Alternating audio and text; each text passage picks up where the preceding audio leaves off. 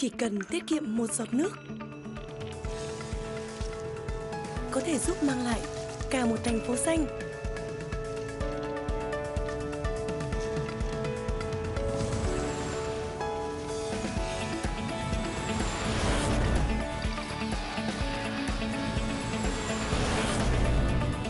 Tắt khi không sử dụng cùng Sunspec chung tay vì cuộc sống xanh. Quý vị và các bạn Hiện tại thì Ngọc Hân đang có mặt ở một không gian vô cùng thanh bình và yên tĩnh. Thử tưởng tượng sau mỗi ngày làm việc căng thẳng và vất vả, chúng ta được trở về nhà trong một không gian như vậy, thực sự rất tuyệt vời phải không ạ? À, ngay bây giờ thì Ngọc Hân sẽ giới thiệu tới quý vị và các bạn về một ngôi nhà như thế ở giữa đô thị Hà Nội. À, chào Ngọc Hân. Dạ, em chào anh Hòa. Dạ, đã rất lâu rồi mới gặp anh trong chương trình Không gian xanh và đặc biệt lại ở ngoài Hà Nội nữa. Thì không biết là ngày hôm nay thì anh Hòa sẽ giới thiệu với Ngọc Hân cũng như là quý vị khán giả của Không gian xanh một công trình thế nào ạ? Hôm nay giới thiệu Ngọc Hân và khán giả một công trình ờ, đặc biệt cái chỗ là rất nhiều yếu tố xanh. Dạ. À, vườn hồ nước, vườn cây, à, view nhìn và đặc biệt nữa là năng lượng dùng cho căn nhà này là năng lượng sạch. Wow, quả thật là rất thú vị đấy ạ. Anh mời Ngọc Hân vào nhà.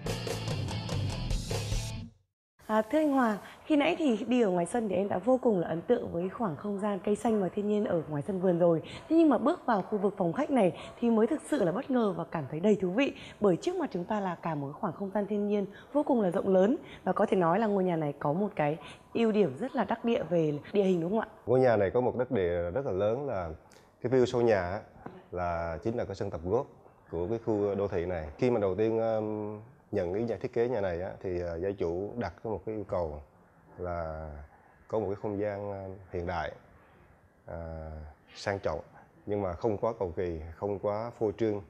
À, cái điều mà quan trọng nhất á, là phải bình yên. Vì à, sau một ngày à, làm việc à, mấy cháu đi học trở về á, thì à, đây là cái chốn bình yên. Từ cái ý tưởng đó thì hầu như cái, cái không gian của nhà này á, cái anh thiết kế á, là anh đều xoay ra sau hết. À, tất cả các cái không gian sinh hoạt tiếp cận mặt sau hết. Chính đấy là mặt tiền là phải danh mặt tiền chính của ngôi nhà này. Chính từ những cái yêu cầu của gia chủ là về cái sự bình yên như vậy thì đó phải là lý do mà anh đã để lại rất là nhiều những khoảng lùi kể cả từ mặt trước sân trước này, sân sau cũng như là ở phía bên cạnh của ngôi nhà phải không ạ? Ừ, Ngọc Hân nhìn là đúng đấy. Tại vì à, có những khoảng lùi như vậy á, thì à, à, không gian nó được một sự à, riêng tư nè thứ nhất thứ hai là mình có được cái ờ, không gian để mà mình đầu tư về mảng xanh những mảng xanh quanh nhà rồi hồ nước. Thì đây là những cái ờ, mà khoảng đệm rất là quan trọng để mà những cái nhất ở miền Bắc á, thì khi mùa nóng á, thì là cái khoảng đệm này nó chính là cái máy điều hòa thiên nhiên nó giảm được vài độ. Em cũng rất là thích cái cách mà bố trí giao thông đi lại ở trong ngôi nhà này. Nó có một cái gì đấy cảm giác rất là gần gũi và mọi người, các thành viên ở trong gia đình có thể dễ dàng kết nối với nhau Mặc dù là ở bất kỳ vị trí nào trong ngôi nhà đúng không anh? À, giao thông nhà này cái cầu thang đặt ngay chính giữa. Dạ. chính giữa tất cả không gian sinh hoạt à, từ sinh hoạt phòng bếp tới ờ, phòng khách. À, lên trên lầu là phòng các cháu và gia đình đều là à, giao thông chính giữa thì mọi người khi bước ra khỏi phòng là gần như chạm nhau Anh nghĩ rằng đó cũng là một cái yếu tố rất là quan trọng để trong cái xã hội hiện đại hiện nay khi mà à, bố mẹ con cái ai cũng có những cái công việc và học tập riêng rất là bận rộn thì sau một ngày trở về chúng ta có thể ở trong một gia đình và có thể có được cái sự kết nối với nhau. À, như lúc nãy anh có nói rằng là cái đề bài của gia chủ là một ngôi nhà thì rất là rộng lớn thế nhưng mà à, cái cách à, trình bày cũng như thiết kế không phô trương đúng không ạ? Không phô trương. và em thấy rằng quan sát à, cái nội thất của ngôi nhà này à, dường như là cũng theo đúng cái ý tưởng như vậy anh đã sử dụng những màu sắc rất là hài hòa và trang nhã à, cảm giác một về một ngôi nhà rất là rộng lớn thế nhưng mà lại có cái gì đấy rất là mộc mạc gần gũi và giản dị đối với anh anh, anh nghĩ là màu sắc mà gần gũi thiên nhiên nhất á, Dạ. sẽ là màu hợp lý nhất dạ còn à, quan điểm màu sắc của người mỗi, mỗi kiểu Dạ. thì anh vẫn vẫn sử dụng là gam trầm màu sắc gần gũi thiên nhiên Dạ. thì trong không gian sống của mình nó rất là cảm giác là thiên nhiên nó tràn vào nhà. Ngoài cái việc là sử dụng những cái màu sắc cho nội thất rất là hài hòa và trang nhã thì em còn thấy rằng là anh sử dụng cả những cái mảng xanh thiên nhiên đưa vào trong cả công trình nữa phải không ạ? Như đưa mảng cây như thế này. Thì à, nếu mình không hiểu về kỹ thuật sâu á, Dạ. thì là thời gian chừng hai ba tháng thôi là cây sẽ nó không phát triển được. À, mảng cây xanh này á, làm thì không khó. Dạ. À, và khó đó là gì? Thứ nhất là cái ờ, cung cấp nước cho nó ừ, là mình hệ thống tưới tự động. Ừ, một cái lượng nước hợp lý thứ hai là ánh sáng cung cấp ờ, để mà quang hợp cho lá là yếu tố quan trọng nhất để mà cây xanh nó được quang hợp. Ánh sáng này mình cho bật ờ, bật đèn theo cái giờ của mặt trời luôn. Ví dụ là à, 7 giờ sáng sáng ờ, 6 giờ sáng đèn sẽ mở lên. Đến 6 giờ chiều đèn sẽ tắt và nó vẫn hoạt động như một cái mặt trời đó. À, nhân tiện nói về đèn thì lúc nãy em nhớ rằng là anh Hòa có chia sẻ à, ngôi nhà này có sử dụng năng lượng xanh đúng không ạ? Thì anh có thể chia sẻ kỹ hơn về cái yếu tố này. À, gia chủ thì rất là quan tâm với năng lượng xanh. Dạ. Và sau khi ờ, hai anh em bàn bạc với nhau thì thống nhất là sử dụng ờ, hoàn toàn hệ thống chiếu sáng và hệ thống ổ cắm của nhà này là bằng năng lượng xanh à, đó là mình dùng cho tấm pin mặt trời gia đình này đầu tư cái này và cực kỳ hiệu quả bằng ờ, cụ thể là như mỗi tháng trả tiền điện là phải thấy là rất là hiệu quả rồi Ví dụ như là bình thường chúng ta phải trả khoảng 10 phần đúng không ạ? Thế Ừ. nhưng mà bây giờ chỉ trả khoảng 1 đến 2 phần thôi đúng không chỉ một phần ạ? Wow, như vậy là rất là tiết kiệm. Có thể là cái khoản đầu tư lúc đầu khá là tốn kém. Thế nhưng mà chúng ta sẽ được cái lợi ích lâu dài và đặc biệt là cái yếu tố mà hướng tới cái nguồn năng lượng xanh và sạch phải không anh? đúng rồi Xin cảm ơn anh Hòa và bây giờ thì em rất là muốn được đi tham quan thêm những cái không gian khác của ngôi nhà này được không ạ? ừ, ừ. anh dẫn Ngọc Hân đi xem ờ, không gian của nhà này Dạ, Rồi, anh mời Ngọc Hân nha dạ.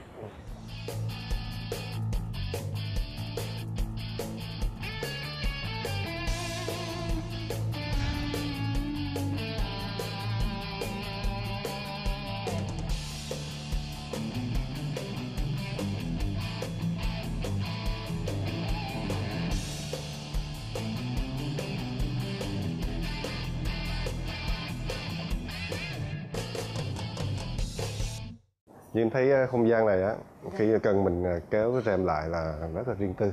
Dạ. còn những cái những cái lúc mà mình cần ờ, open mình cần hòa vào thiên nhiên thì chỉ cần lùa cái màn qua là có thể là mình tiếp cận được liền. Dạ. Đây có thể nói là một cái khoảng không gian sinh hoạt rất là à, riêng của gia đình phải không anh? À, cái này là bài toán này là chủ nhà đặt ra là có một cái không gian gọi là một cái thư viện. Vì à, chủ nhà và mấy cháu thì có một cái, cái, cái thích là đọc sách À, cho nên anh, anh thấy những, à, một cái ký kệ thế này là đầy sách liền đó. thì đây là cái không gian thư viện đọc sách học tập của mấy cháu và, và gia đình. Và em đặc biệt rất là thích cái cách mà à, mình bố trí cái khoảng không gian bằng cách nâng cái cốt nền lên à, nó vừa tạo cái cảm giác riêng tư thế nhưng mà cũng rất là gần gũi và gắn kết với khoảng không dưới của gia đình phải không ạ? ừ, cái này là cũng là một yêu cầu nghĩa là các thành viên gia đình sinh hoạt à, có một không gian riêng nhưng mà không quá riêng đó là những cái ngôi nhà đô thị bây giờ hay bị tình trạng đó Dạ. thì đây là có sự kết nối giữa nhiều thế hệ rồi nhiều à, các thế hệ thành viên gia đình thì được kết nối nhau rất là dễ dàng nhưng mà vẫn là riêng tư Dạ. Và đặc biệt ở trong khoảng không gian này à, thì tưởng như rất là riêng tư thế nhưng mà em thấy rằng lại có cái sự kết nối rất là gần gũi với khoảng không bên ngoài với cây xanh, mặt nước cũng như là à, cả bên trước bên sau phải không ạ? đúng rồi em à, cái không gian này thì à, nếu cần riêng tư chúng ta riêng tư rất là dễ bằng cách là đóng cửa lại kéo cái màn kéo cái rèm lại. Mà nếu cần mà hòa vào thiên nhiên thì em chừng mở cửa ra à, kéo cái rèm ra thì là thiên nhiên ngay bên cạnh liền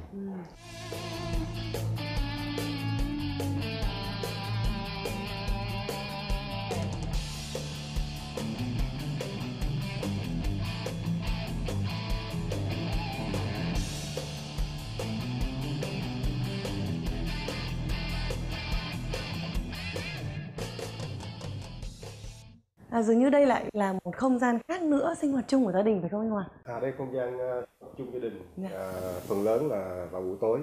À, có thể xem phim à, xem tivi và các cháu đọc sách vui đùa đấy anh thấy một cái vòng à, giống như mặt trăng rồi đấy À. thì mấy các cháu bé rất là thích Dạ. đây là một giống như một cái chỗ vui chơi cho các bé Dạ. và để gần gũi cha mẹ Ở ngôi nhà này thì em cảm nhận thấy một cái điều rằng là à, những cái không gian sinh hoạt chung à, dường như rất là được quan trọng và à, chăm chút cho những cái không gian như vậy phải không anh? ừ, đó là yếu tố quan trọng nhất còn à, trong phòng ngủ trừ phòng master Dạ. còn phòng các cháu thì là chúng ta không đầu tư nhiều Dạ. để mà các cháu à, năng xuống dưới đây để mà gần gần gũi cha mẹ hơn Dạ. chứ mình đầu tư vào không gian phòng ngủ nhiều quá thì các cháu sẽ không có ra không gian chung À. thì đó là yếu tố chủ động mình làm đó Dạ.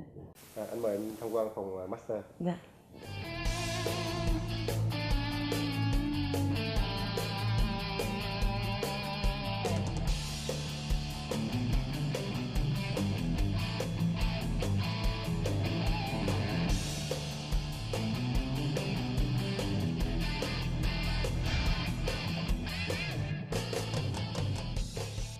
Đây là một cái là một phòng ngủ master Dạ.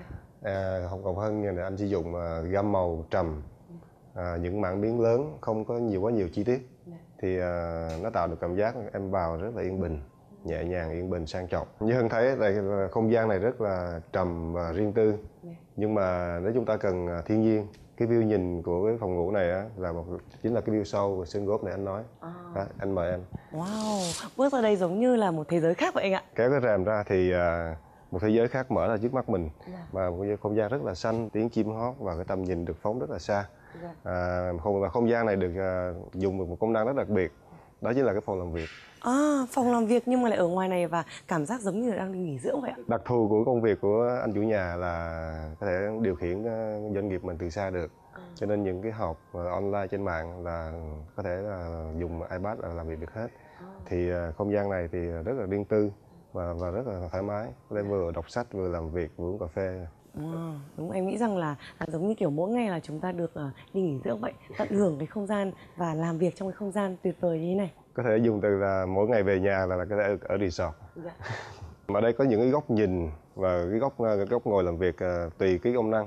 Dù là muốn à, muốn phóng tầm nhìn thì chúng ta có thể nhìn về hướng này.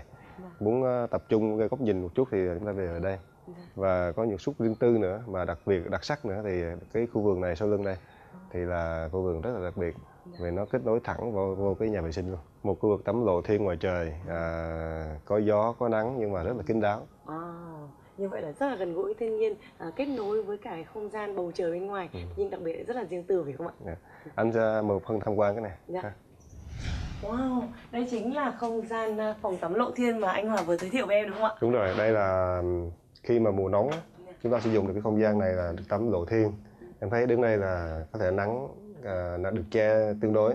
Dạ. à, gió rất tự nhiên mà đặc biệt là rất là riêng tư và kín đáo. Và chúng ta lại bố trí được cả một cái hàng trúc xanh à, rợp nữa và cảm giác giống như là chúng ta đang ở đồng quê vậy, à, rất là gần gũi với cái gì đấy à, thôn quê của Việt Nam phải không anh? à, những cái hàng trúc này á, khi mà à, anh thiết kế anh trồng là cũng từ ý tưởng đó. Có nghĩa là có một chút gì mộc mạc của miền quê. Mà dù là cái nhà rất hiện đại nhưng mà mình vẫn đưa mộc mạc miền quê vào chút. Đó là cái à, tạo được cái một cái tinh thần giấy để tạo sảng khoái cho chủ nhà. Thôi Dạ. Thưa anh Hòa, hiện nay thì cái xu hướng thiết kế xanh đang lên ngôi. Và từ kinh nghiệm thiết kế ngôi nhà này thì anh có thể tư vấn cho những khán giả của không gian xanh về những yếu tố có thể làm nên một ngôi nhà xanh được không ạ? cái quan điểm về ngôi nhà xanh á, thì à, từ trước đến giờ chúng ta quan điểm là đưa cây cỏ vào đưa hồ nước vào nhà thì nó đã đạt yếu tố xanh rồi. Và cái điều quan trọng hơn nữa là chúng ta nó sử dụng được cái nguồn năng lượng xanh. Và chẳng hạn như năng lượng pin mặt trời à, năng lượng gió. Mà hiện tại năng lượng pin mặt trời thì sẽ khả thi hơn vì nó không gây tiếng ồn gió sẽ gây tiếng ồn. Cái à, đối lưu không khí của một cái nhà xanh đó là rất là quan trọng. À, chúng ta dùng hệ thống cửa như thế nào mà chúng ta chủ động được?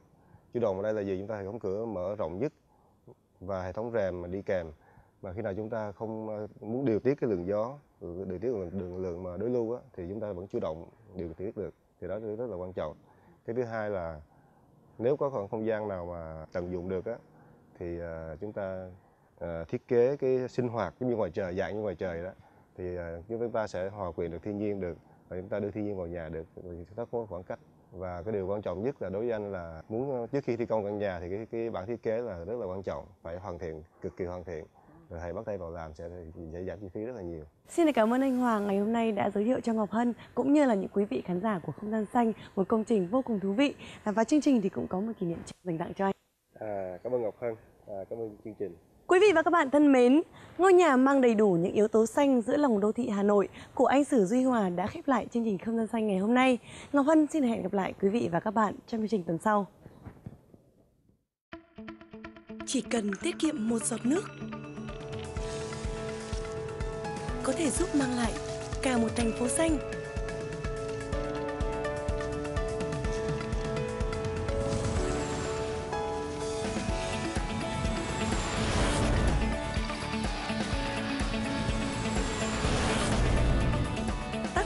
Hay không sử dụng cùng Sunspec chung tay vì cuộc sống xanh.